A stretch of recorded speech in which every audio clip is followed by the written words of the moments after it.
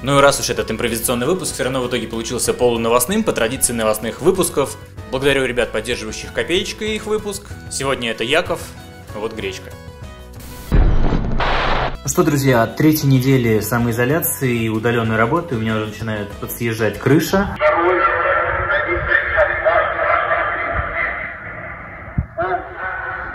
Но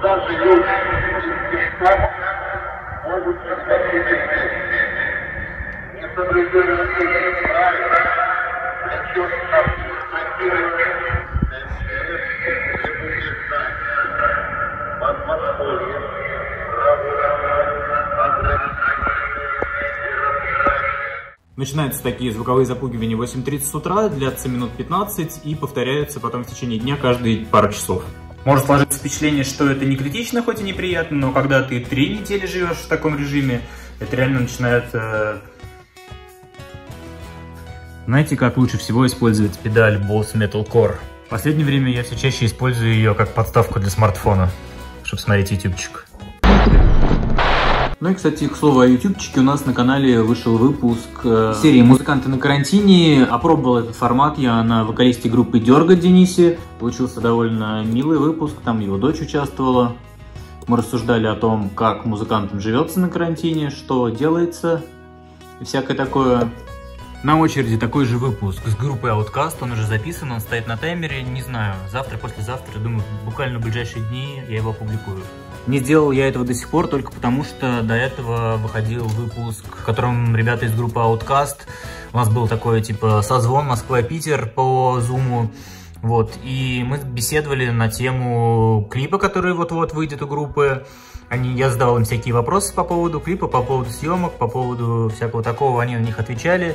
Я просто не хочу, чтобы два подряд видео про ауткаст были на канале. Вот, возможно, как раз этим влогом мы это и разобьем. Пожалуй, единственный обитатель этой квартиры, на котором изоляция сказалась меньше всего или не сказалась вообще, это улитка Гэри. У меня сегодня вот такая вот капустка, которую я, кстати, покупал в магазине еще больше трех недель назад, когда еще я выходил в магазины. Вот, и мы все это время ее потихонечку едим, и она даже вот в какой-то момент проросла. Я подумал, что это будет хороший подарок для Гэри. Кстати, на кухне у нас тут до сих пор висят новогодние снежинки.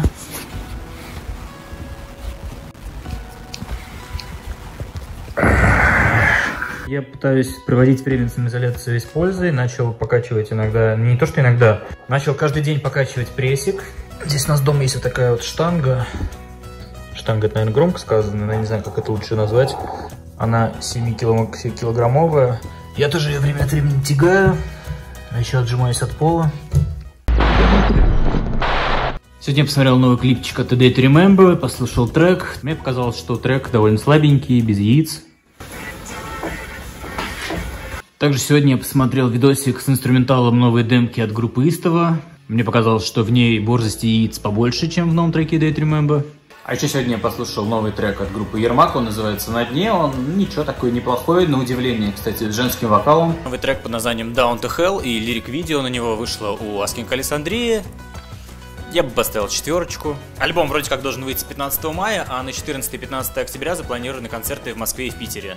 А еще давайте сделаю такой небольшой анонсик. Завтра, 17 апреля, на канале Years on Fire Уши в огне состоится своя игра. Интеллектуальное музыкальное шоу, в котором ведущим будет Андрей Уши в огне, а моими оппонентами будут Эрик Рика и Иваганыч.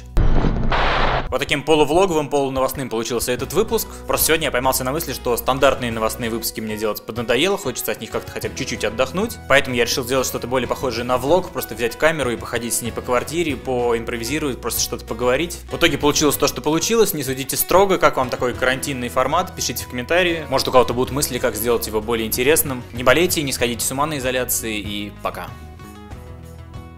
Спасибо, что досмотрели ролик до конца. Будем рады вашим лайкам и комментариям. Будем благодарны, если подпишетесь на канал, нажмете на колокольчик или расскажете об этом ролике на одной из своих страниц в соцсетях. Ну и ссылка, по которой нас можно поддержать рублем, также в описании. Имена донатеров мы будем публиковать в титрах наших роликов. Спасибо.